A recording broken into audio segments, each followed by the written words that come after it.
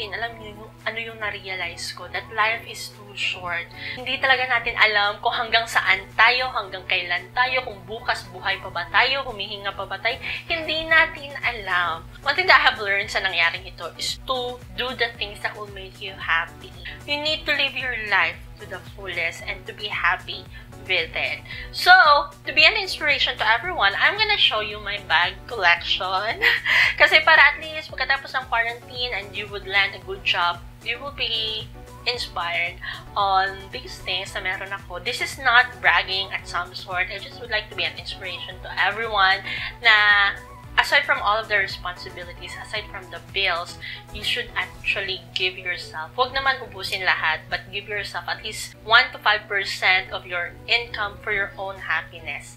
Kasi yung minsan kasi yung ginagawa in terms of budgeting is nauubos lahat sa bills and responsibilities and it will really burn you out. Yung iba naman, nauubos lahat sa luho, which is also not good. So, in terms of budgeting, it would also be best at least you give yourself 1 to 5% out of your monthly income with the things that would make you happy. These bags that I've got, every time na may sahod ako, bumibili ako ng bag just to make myself happy and to give myself a pat in the back na, you did a good job, you deserve this. Parang ganon. But hindi po ibig sabihin na binili ko po lahat ng bag na ito, kahit wala na po ako makain, hindi po ganon. Okay, so without any further ado, if you would like to know and see my bag collection, then keep on watching.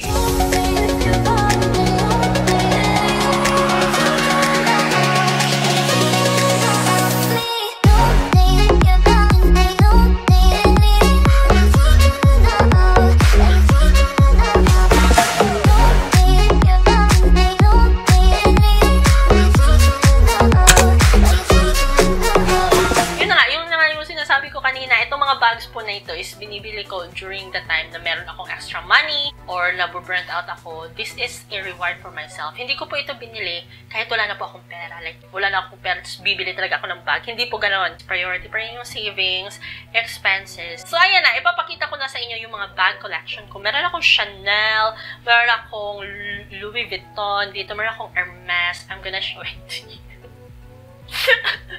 Loko lang, but talagang makikita nyo, makikita nyo yung mga bags na meron ako. Let's start with the smaller ones. So, unang-una guys, itong bag na ito, this is actually a clutch bag.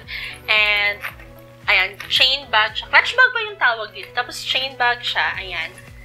Chain bag. And this is so cute kasi napakanipis lang nito. And kasha dito yung phone mo, yung powder, or yung blotting paper mo every time that you go on. Kasi eto, ginagamit ko siya pag nagmo-mall ako. And if nagmo-mall ako, I don't really bring or so many makeup products kasi mabilisan lang naman yung sa mall, like 3 to 4 hours, 5 hours. Kaya sa mall, then you just need blotting paper, lipstick, kasha siya dito. And very nipis. This is actually from Louis Vuitton. Char. This is from Parisian. Kung makita nyo, ang dami niyang compartment. So, parang mini wallet na din siya. And napaka, napakadali niya lang talagang dalhin. Nababagay to sa kahit na anong outfit kasi this is a nude color. So, I really love this one. Kaso nga lang, itong chain niya is medyo parang nadidiscolorate. Nadidiscolorate. Nadidiscolorate. Parang nag-iiba na yung kulay ng chain niya. If meron kayong technique kung paano i-ano yung chain, i-revert back to gold, let me know. Napakaganda pa ng loob. Itong bag na to, I bought this for around 500, 600, 700, less than 1,000. Itong Parisian na, na bag na to. And I really love it. Medyo matigas yung cover niya para kahit gaano kagulo yung loob, hindi makitigas na basi. Yan yung secret, guys. Ayan, so this is the first bag that I have. Now, next one is eto. Very, very cute na clutch bag ulit. Clutch bag ba yung tawag dito? Basta mini bag. Basta maliit siya na bag, ganon. So, this one is also a chain bag. Ayan. This is also good if nagmumall ka kasi napakaliit niya lang. And hard pa din yung cover niya. This is from Celine. And wala siyang compartment. Ayan. So, meron pang mga... Ano yan? Payslip. Mga payslip ko po yan. And so, napaka-tiny na bag. Tapos ito, ginagamit ko din siya pag nagmumall ako or yung mga mabilisang lakad lang na I don't really need too many items in me. Like, pera, wallet, cellphone. This bag is a little bit expensive. Uh, mga nasa 2,000 ito kasi na, silin po ito. So, medyo may kamahalan siya. It's like 2,000 pesos. But I really love it kasi napakatigas and napakaganda ng quality. And yung stitches, hindi siya talaga madaling nasisira. And yung chain niya, hindi pa na nag-iiba yung kulay. Ganun pa rin. Super love ko tong bag. Isa to sa mga go-to bags ko talaga. Hindi ako nagsisi na binili ko to for 2,000 pesos kasi napakaganda and very functional niya para sa akin. And kahit ganito siya kalit, kasha yung phone dito. Tingnan mo, see? Next small bag is eto. This is from Seco Sana. Ayan, ito mura lang to. This is like around 1,000 pesos. Kasi ito, pair to sa isang mas malaking bag, which I'm gonna show you next. Pero ito, small bag din siya, tapos chain bag. Ayan. Kasi pag nagmumola, gusto ko talaga yung mga chain bags. Kasi magaan and madaling dalhin. For example, nasa shopping ka, marami ka pang dadalhin na paper bag, meron ka pang malaking bag, so extra burden. So, at least ito, super liit lang. Tapos, super cute niya. Super lakas makasosyal kasi nude yung color. Napaka-cute niya lang. And, if you're going to open it, meron siyang compartment sa loob. Meron siyang coin purse, ayan, sa loob. Ito, mura lang. You could really buy it for like mga 1,000 pesos ata yung bili ko dito. 1,000. Tapos meron na siyang malaking bag, which is really, really cute din. This one, si lakas maka shala, lakas maka madam. Tapos super love ko to kasi napaka-hard hardcover niya. And eto, kung makikita nyo, same siya ng design dito sa mini niya. 'Di ba? Super cute! Once you open it, ayan, so meron siya compartment, same compartment, and itong bag na to is meron siya kasamang sling para at least kung ayaw mong mag, mag-shoulder bag or mag-handbag, then you could make it as a sling bag. So, which is really nice and cool din. Minsan ginagamit ko to if nagmumall ako or sa office kasi lakas niyang makayaman. Alam niyo yun. Like, pumupunta ko sa bangko, ito yung gamit ko. Pero, 1,000 lang to, girl. Nakasakayaman for 1,000 pesos lang. Very mura, very cheap. And dalawa na yung makukuha mo. So, sulit na sulit na to. Tapos, hardcover din. Kaya mga hardcover yung mga bags kasi I'm not that organized. Hindi pa ako isang napaka-organized na tao. So, yung mga bagay sa bag ko, pasok lang ako ng pasok ng pasok. Minsan kasi pag hindi hardcover, pag magulo yung loob, na, na, naaano, parang nakikita sa labas yung kaguluhan niya kasi nagpipik through yung, or meron mga pointy edges yung bag mo nalalaman na magulo yung loob. Eto, hardcover, hindi nila malaman na magulo yung bag mo kasi nga, hard siya. Next, this one. This cute little red bag. Eto, napakaganda din nito. This one, napaka-special sa akin ito kasi this was purchased by my hubby And regalo niya sa akin to. And same kami ng design sa kanyang mom, sa aking mother-in-law. Yung brown ata yung kay tita, hindi ko na alam. Basta meron ibang kulay, pero magka-same lang ng design. Tapos napaka-cute niya din. Super red. Ayan. And meron din itong kasamang sling. If ayaw nyo ng shoulder bag, sling bag. So, ito minsan ginagamit ko. If red naman yung outfit ko. Kaso yung ano lang dito is soft cover siya. So, if ever, ayan. So, ang bilis niyang matupi, mga ganyan. So, nadidis beauty. Hindi na siya ganun ka ganda if ever nagaganyan yung bag or nagaganyan, natutupi kasi. So, yan din yung mga reason kung bakit ayaw ko ng mga soft covered bag. But this one, I really love it kasi red. Tapos, ang ganda lang ng design. Napaka-cute na. Next one, this one. Sa to sa pinakauna kong bag, yung baby girl. pa ako. And, ayan, this is from Bella Donna. Ayan, this is actually pink in person, but as what you can see, ayan. Lakas makasosyal, pero merong ribbon dito, hard ribbon, hardcover din. Isa to sa pinakaunang bag na binili ko sa sahod ko, and I'm so happy kasi matagal ko din itong nagamit. Dati kasi, bumibili ako ng bag, sobrang tagal bago ako bumili ulit kasi sinisira ko muna siya. bago ako bumili ulit. But this one, isa ito sa mga bags na hindi nasira pa rin. Ayan. So, next one, another one from Belladonna. This one, lakas makayaman. ba? Lakas makayaman din itong bag na to. Binili ko to dahil dito Napakaganda kasi ng design ng bag na to. If you're going to look at it, ayan, hardcover din siya. Pag tagilid or ganyan, para siyang pitaka. Alam niyo yun? Para siyang wallet. Kasi, when you open it, kailangan mo lang siyang i-twist ng ganyan. And, see? Para siyang wallet, guys. Alam niyo yung mga wallet?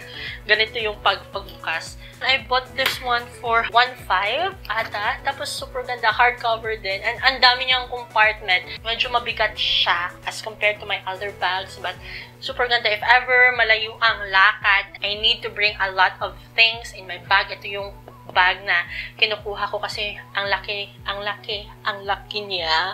And ang dami niyang compartment. Ayan, super sulit din to guys. Tapos limited edition daw to. So, konti lang yung mga merong ganito. I really love it. Next one! I have a Chanel bag here. Ayan. Chain bag. Ito siya. Hindi ko alam kung ano yung design nito, but this is Chanel. I bought this for Um, I bought this for like 1,500, 2,000 kasi hindi po ito tunay. hindi po ito tunay. Sa Shopee ko lang po ito nabili and see, ang ganda-ganda. Kaso for this bag, hindi ko to masyadong nagagamit. Una sa lahat kasi peke siya. And kasi there was a time nagsimba ako with my boyfriend, yung nasa harapan namin, ganito din yung bag. Hindi ko alam kung tunay ba yung sa kanya or hindi. If tunay yun, baka sabihin niya, oh my God, she's wearing a fake Chanel. And I was like, ah! oh my God! Ayun, hindi ko siya masyadong ginagamit if super public na pupuntahan. But yung mga short gatherings, ayun, ginagamit ko siya paminsan-minsan. But I am really open. Pag sabi, wow, meron siya na. always say, Peki po ito. Hindi po ako nagpapa-ask. Bumili lang ako dito kasi I would like to make this as an inspiration.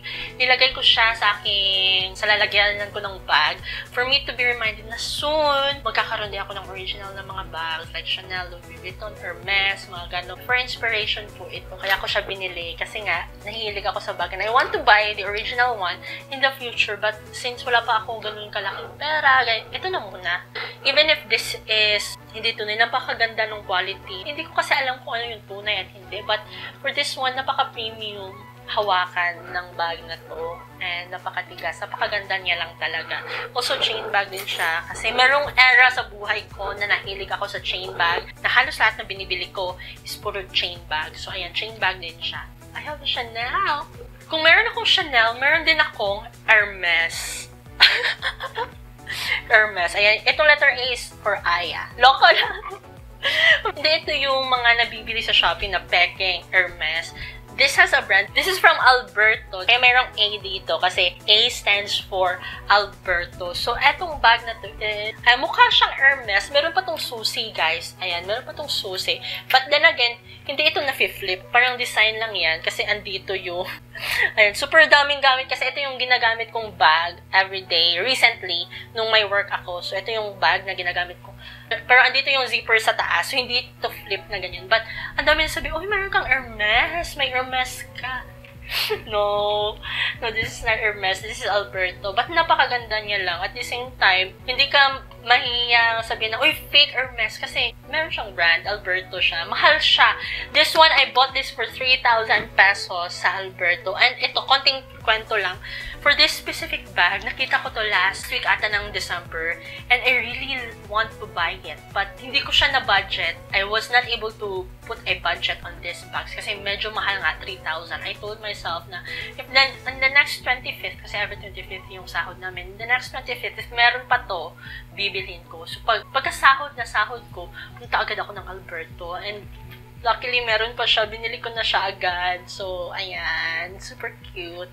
Super nice. And I really love this specific bag. Tapos, matigas din siya. Napakaganda din ng quality. Ito yung isa sa mga bags I'm so happy na nakuha ko talaga. And napaka-classy sophisticated. Pag ikaw nagsuot, madam-madam ka talaga tingnan. So, napakaganda. Ayan. Eto, last bag na po ito. Ayan, konti lang yung bago, hindi pa siya ganun karami. But in the near future, pagkatapos ng quarantine, if meron ako mga extra, bibili pa ako ng maraming bag kasi I'm really into bags. So now, eto, yung isa sa pinaka-love na love ko ding bag. Kwento lang, this one is around 2,000 pesos din. This is from, from Giovanni. Konting kwento lang, nakita ko to sa pinakataas na, anong tawag doon? Para, sa SM, pinakataas siya. Halos hindi siya makita, but nasa pinakataas siya. So, pagkakita ko, this was the time na may Miss Universe. Tapos, ganitong kulay yung national costume ni Gazini. I told myself na, naku, Gazini Ganados bag.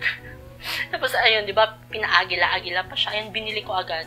Kasi napakaganda niya. But, during that time, that was also the time na gusto kong bumili talaga ng bag. So, naghanap ako, pagkakita ko, sabi ko, wow, gazini Ganados bag. Binili ko na siya agad kasi napakaganda niya nga.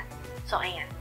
So, yun lang yung mga bags ko. I hope you get inspiration sa nakita nyo today. Again, I am not bragging. I just would like to be an inspiration to everyone. And also, to give you a lesson na huwag kayong bumili ng bagay na hindi nyo pinag-budgetan or hindi nyo pinag-ipunan. Kasi, marami pa rin mga bagay na mas priority and mas kailangan ninyo. For these bags nandito, pinag-ipunan ko to or pinag-budgetan ko to sa sahod ko for me to be happy. So, yun lang, guys. That's it. So, I hope it gives you an inspiration and it gives you motivation to work harder and to live the life that you really want. Kasi life is too short. Hindi natin alam kung hanggang saan and kailan magkakaroon ulit ng corona. So, yun lang, guys. I hope you all like this video. Nag-enjoy kayo sa video na to. If you like this video, huwag niyo kalimutan mag-hit on like, subscribe, share, and click on the notification bell para updated ka sa aking bawat uploads because I upload dito 3 times a week. Thank you so much guys for watching and see you all in my next video. Bye!